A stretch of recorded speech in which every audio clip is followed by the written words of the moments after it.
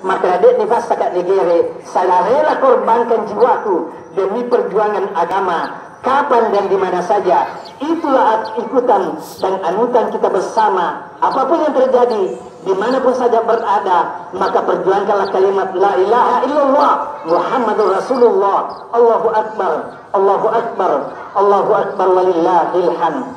Sampai-sampai Nabi Ibrahim alaihissalam nagere mabbe kedua anaknya najahu makan dari visole maka pada saat itulah datanglah perintah Allah dengan benar dan jujur terlaksana. Penuh kejelasan saksi malaikat yang tidak tidak batas jumlahnya.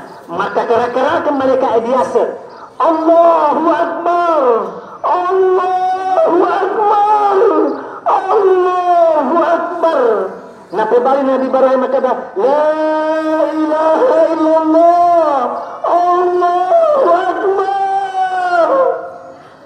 Nabi balik Nabi Ismail kata, Allahu Akbar. Walillahil hamd.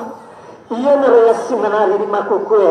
Setiap kita takbir, kita baca itu. Ucapan malaikat yang pertama, Allahu Akbar, Allahu Akbar. Maka dijawab oleh Nabi Ibrahim, La ilaha illallah.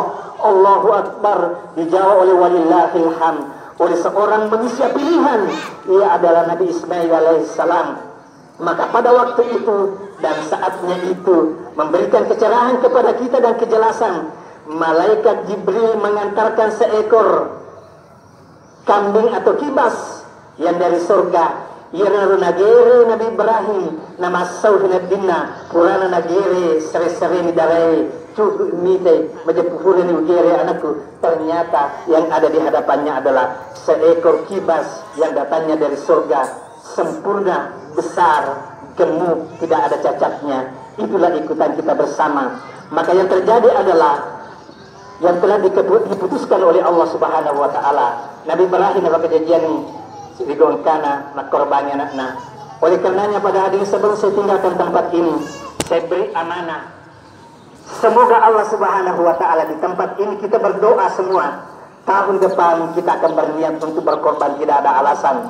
Karena banyak orang yang mampu berkorban tapi mereka tidak berkorban. Buktinya di tengah-tengah kita di seluruh umat manusia. Megan Kotona beli motor tapi dia beli makrobai. Kenapa seperti itu? Oleh karenanya sekali lagi kita bermohon kepada Allah Subhanahu wa taala di tempat ini karena di tempat ini dan pada detik ini doa kita diijabah langsung oleh Allah Subhanahu wa taala dan tidak ada mengantarai kecuali tidak ada tabir yang mengantarkan kecuali hanya karena betul-betul malaikat mengantarkan doa kita langsung di hadapan Allah dan seluruh dosa-dosa kita akan diampuni.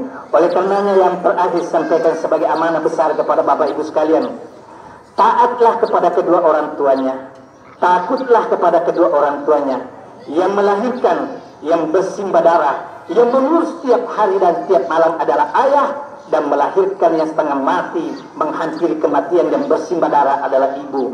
Mau maga sempajamu mau maga karobamu mau mamu lesu ke milik tanah Mekah dari kemadolado kita dia pajajamu debito parum pajang ilino letu akhera matu ke esuki sedang kita dia pajajam atau sujud riolona terutama idoe nenia amboe.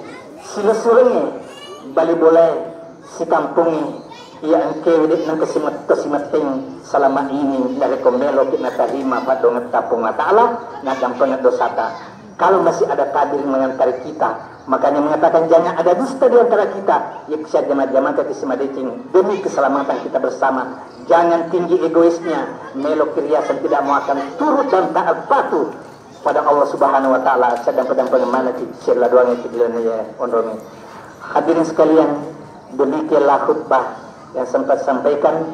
Mudah-mudahan ada manfaatnya bagi Bapak Ibu sekalian.